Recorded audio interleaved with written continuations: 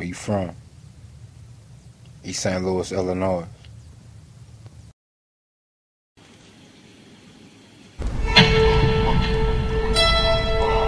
So by the time I got back to East St. Louis, Illinois, Gigi wasn't nothing but like maybe one or two years old at that time.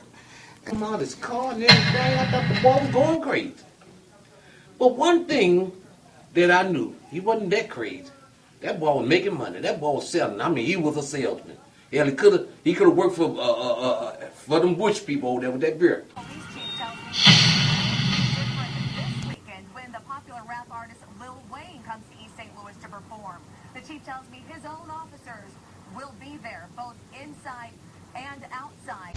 shot, shot a dude right down here on the corner of our block one down. You know what I'm saying?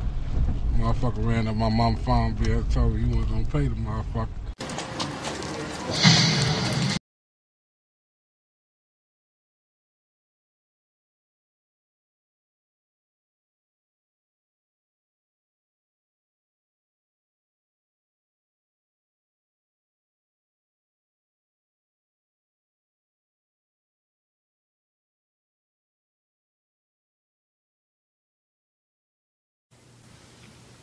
I was born Grover Gillespie III, October 22nd, 1982.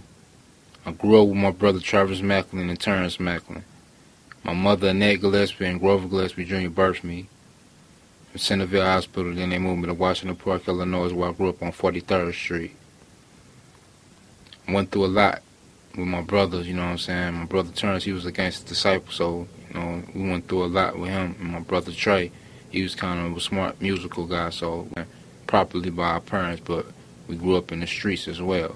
So this is my story. When art imitate life. No more it's you two G and time is still a moving the show. Trying to be the first kid in my hood, trying to make a meal for show. I'm universal Simon, boy, this world can't live without me. They stress my name and disrespect my name, my own generations dying solely in vain. So representing my hood, and that show me stay forever. They pushing these rocks like wait, life is how you make it. No matter what trick, you can't fake it. But only God can judge me when I'm confident and focus on them presidents. Timmy said they sold for the Benjamin. Credit minds be my new print.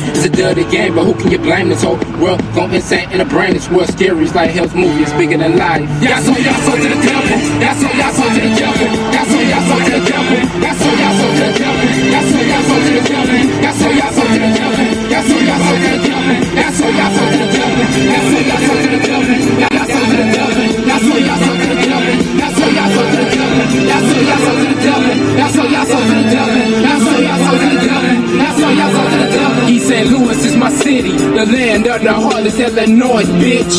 The destruction of darkness they put a hit on me to the leave me in the winter. I guess this history, but my movie's in the center. They don't know my story, never got no glory, never got no respect. They put my whole world in check. Jesus Christ said, This is the test he spoke to me in a dream. Saying, This is the test I spit it on. I might search for success, but I gotta give the get blessed. But I might be dead because I don't know who I am, the Lord, and thank God that He blessed me with this house. And I thank my mom and my dad for taking care of me and showing me how to be a man and take care of my business. So I love you, mom and dad, and I'm forever take care of this home for you and me. I thank God that He blessed me with this house. And I thank my mom and my dad for taking care of me and showing me how to be a man and take care of my business. So I love you, mom and dad, I'm forever take care of this home for you. And just believe me, I'm gonna take care of the family. I love you. My daddy used to DJ all the time after he came back from the army from Germany. You know what I'm saying? That's where we got all these records from. I was inspired by these records. He used to play these records for me as a child. You know what I'm saying? And I would learn every word from it. You know saying? I grew up with Madonna, Diana Ross, you know, Michael Jackson, Bob Marley, um, the Supremes, the Isley Brothers, you know what I'm saying? Marvin Gaye, you know what I'm saying?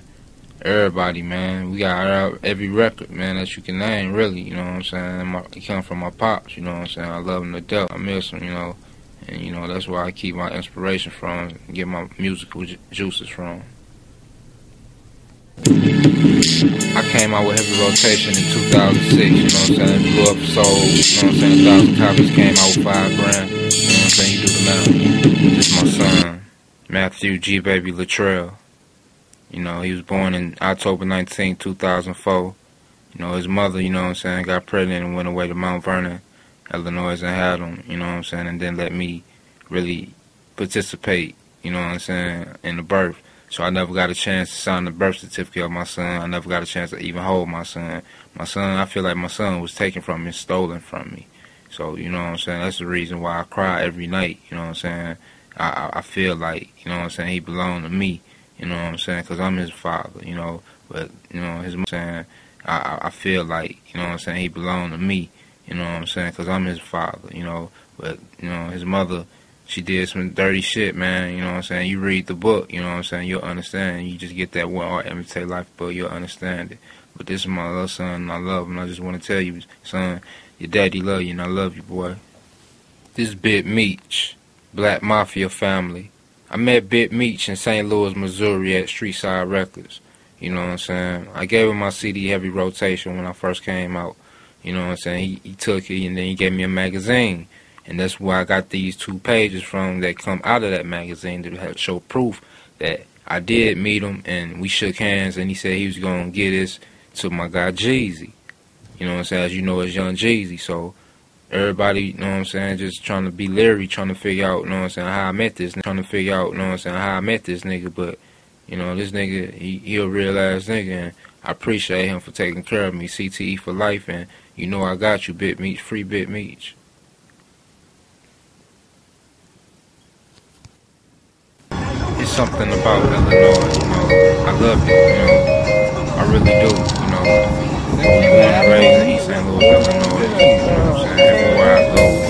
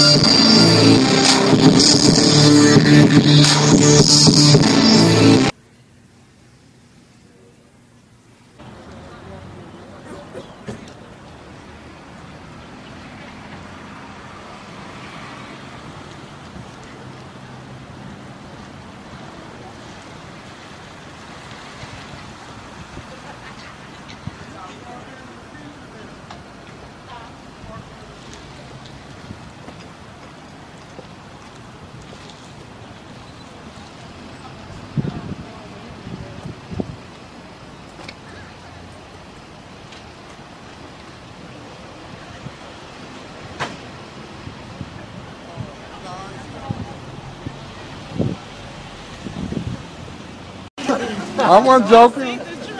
I'm rolling. I, I ain't trying to miss the old boy show. Yeah, we know you be rolling. Jimmy was having a kid, so I was pushing it on the gas. Boo, where you been? Uh, you know, my auntie Francine was in the hospital. We had to go uh, get her glasses right quick. You know what I'm saying? I had missed y'all. Yeah, you look nice. I appreciate it. You look nice too. Thank you. You and my little niece. Mama got out the car. Grown now. yet? Hmm? Mama got out the car yet? She should be behind you. I think she in this car. Which one? This I one?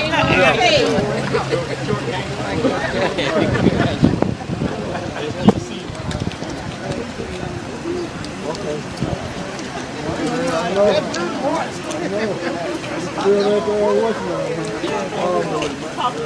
Why you got the school, right? About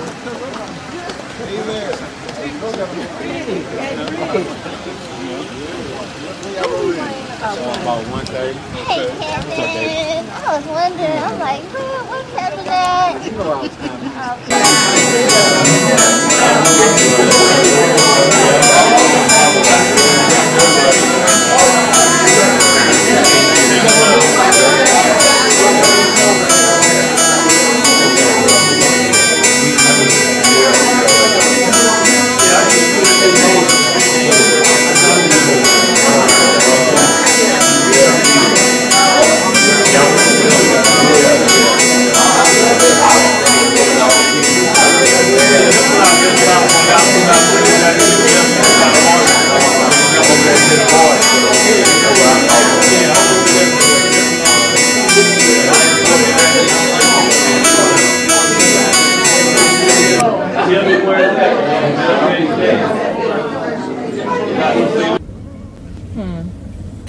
St. Louis. It's crazy out here, Folks, man. We said no. You know what I'm saying? We all agreed. Mm-hmm. I agree. We going on our way to Jefferson Barracks to go bury my daddy, you know what I'm saying?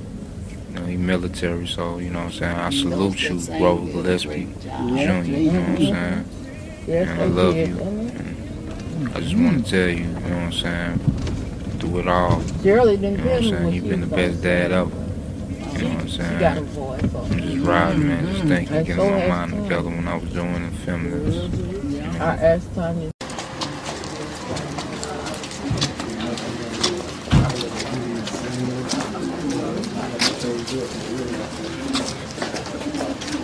What's Sherelle? This is Sherelle,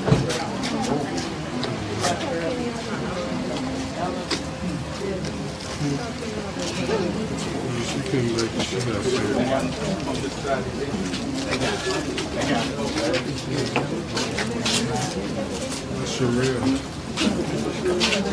That's.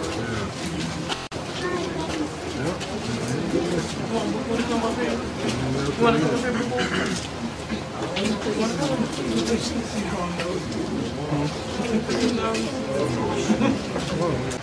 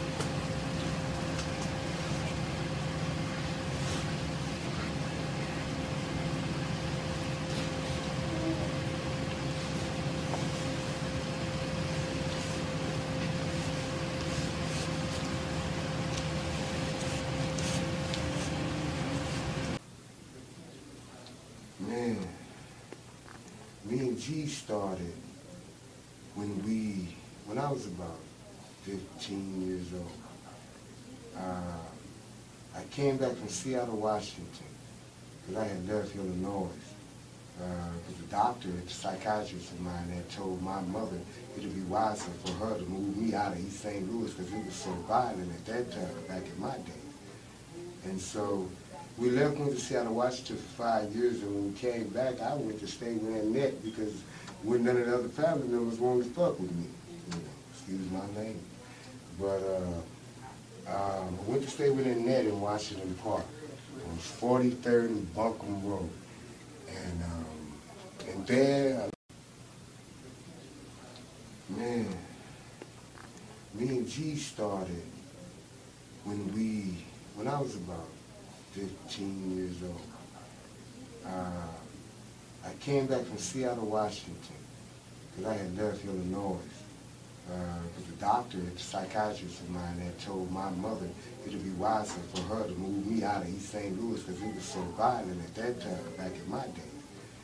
And so we left, went to Seattle, Washington for five years, and when we came back, I went to stay with Annette because when none of the other family members wanted to fuck with me.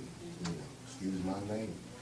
But uh, um, I went to stay with Annette in Washington Park on 43rd and Bunkum Road. And, um, and there I met Terrence, I met Maine. Uh, Terrence was a GD. St. Louis, Illinois. Gigi wasn't nothing but like maybe one or two years old at that time. And so he really didn't see me there because he don't remember things at those ages. So now he grew up and uh, I had went away again for a while. We moved out then plus I got older, uh, went to high school, didn't see him for a while. Then as time went on, we started bumping into each other. We did a little of this, did a little of that. You know how street connects go. You know what I'm saying? For real. My niggas in the hood call me Fubu at times. But the truth is, my real niggas that go way back call me Shane. But me and Gigi grew up. He had a few problems. And, you know, him and Terrence always seemed to solve. You know what I'm saying? And so, but when the shit got real thick, they called me in on that shit. No more to talk about, because you Hey, uh, I'm Uncle Buck. I'm Gigi's nephew, uncle. That's my nephew. The main thing that I want to say about the young man is this. When I first started noticing him actually getting involved in music, I didn't really take it serious that he really wanted to do the music. At about the age of five, he started listening to a lot of that uh, rap stuff. You know, I, I'm old school. I'm used to Rita Franklin and the Spinners and all them, but not him. He was used to that that that stuff where you couldn't understand nothing, but he understood it. And all of a sudden, he just started writing. He wanted to write and write. Noth- And then he bought some. He showed me some CDs. He started selling them out his car and everything. I thought the boy was going crazy. But one thing that I knew, he wasn't that crazy. That boy was making money. That boy was selling. I mean, he was a salesman. Hell, he could have he could have worked for uh, uh, uh, for them Busch people over there with that beer. And um, one thing about it was he kept on writing to these people about he really wanted them to to notice his uh, material and stuff. So one day, I told him, I said, Gigi, uh, Ron Simmons were gonna be in Cahokia. And uh, he I was lying. That's natural, because, you know, I'm Uncle Buck. I tell a lot of lies, you know. But this time I for real. Me and him sat out there and went out there to Cahokia. And lo and behold, DJ, spin me. GG, king of the motherfucking Midwest. And y'all ain't fucking with me. Y'all ain't fucking with me. Y'all ain't fucking with me. Y'all ain't fucking with me. Y'all ain't fucking. Y'all ain't fucking with me. Y'all ain't fucking with me. Y'all ain't fucking